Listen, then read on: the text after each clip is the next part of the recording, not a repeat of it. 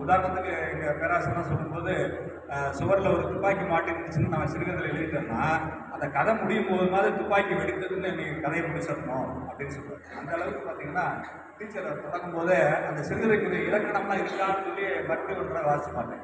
அந்த சிறுகதைக்குரிய இலக்கணம்லாம் இருக்குது எடுத்தவங்க எப்படி தொடங்குறாங்கன்னாக்க இன்னைக்காவது கேட்டோம் அப்போ நமக்குள்ள என்ன கேட்டிருந்தோம் என்ன கேட்க போகிறாங்க என்ன பிரச்சனை அவங்களுக்கு அப்படிங்கிற ஒரு ஆர்வத்தை அப்படி தெரிவிச்சு விட்டாங்க.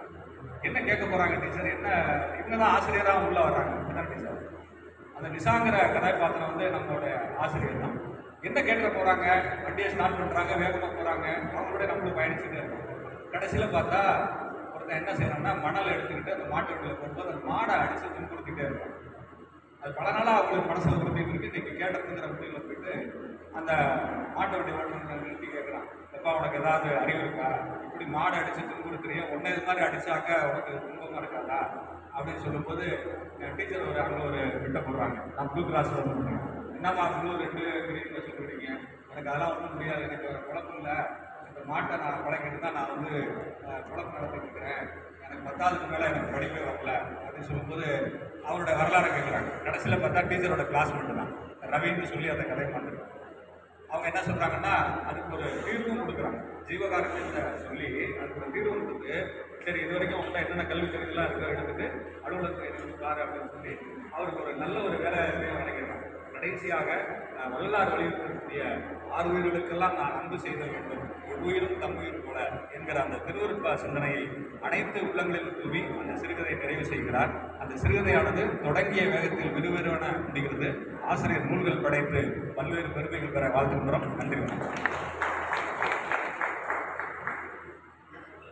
அனைவருக்கும் இனிய வணக்கம். இப்போ வந்து நம்ம சிறுகதைகள் விமர்சனம் செஞ்சுட்டு இருக்கோம் இல்லையா? இந்த நிகழ்வு வந்து மீண்டும் அடுத்ததாக தொடர இருக்கிறது.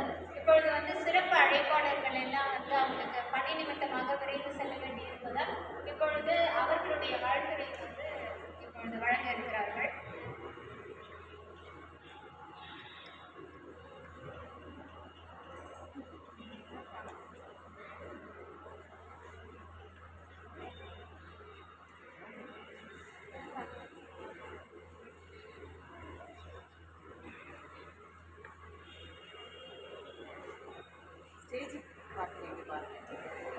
திருச்சி ஆதர்ஷினி காக்கி எங்க வாங்க தஞ்சாவூர்ல இருந்து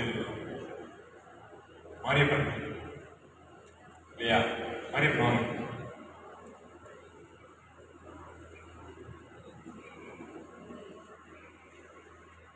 அஹ், சிறப்பு விருந்தினர்களுக்கு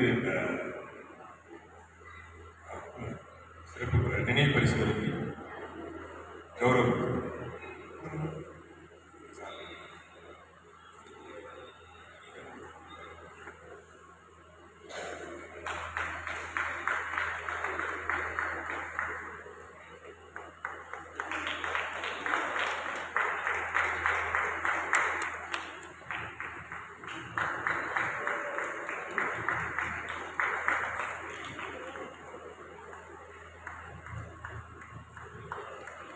சிறப்பு விருந்தினர் அவர்களுக்கு நினைவு பரிசு வழங்கப்படுகிறது.